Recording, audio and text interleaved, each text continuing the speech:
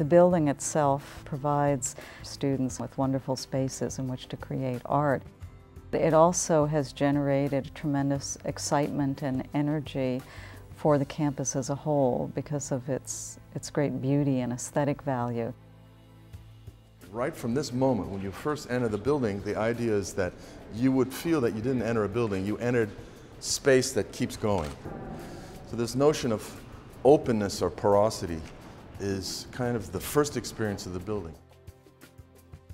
Because the school's not in a like an object building, it has an openness, it looks back on itself. So this feeling of the space being, let's say, more elastic than in a normal rectilinear building. So you feel a community, which is really important for education.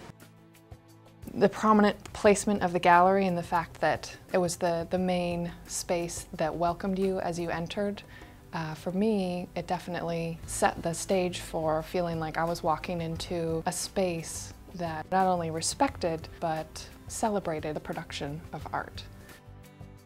There was these wonderful floor-to-ceiling glass windows that looked out onto the bluff and to the pond below, and it was really great to sit there and read and take notes and write. It was a really, really pleasant space to get a lot of inspired work done.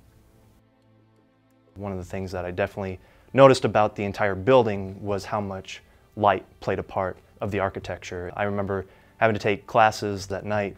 I would uh, walk up to the building and the lights would be on and uh, sort of seemed like the, the space would take the light throughout the day and then emit it at night and uh, sort of glowing off of the, the pond and everything along those lines.